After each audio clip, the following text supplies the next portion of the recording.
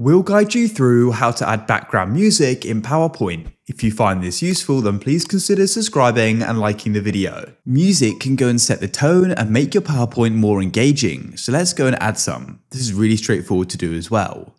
So what you need to do is come to the top of PowerPoint and go and click on Insert.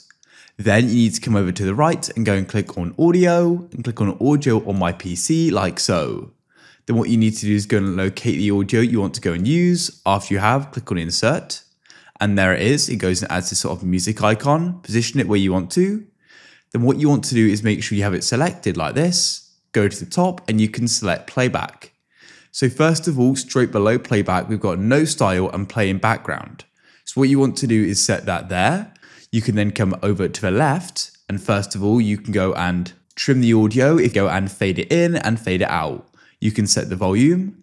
Then what we can do is go and choose that it's going to go and start automatically.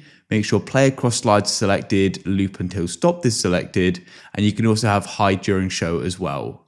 And that's it. So now when the PowerPoint goes and starts, the music will go and start playing. If you want the music playing from the start, then make sure you go and have it on the first slide. If you want to start later in your PowerPoint, then place it on another slide.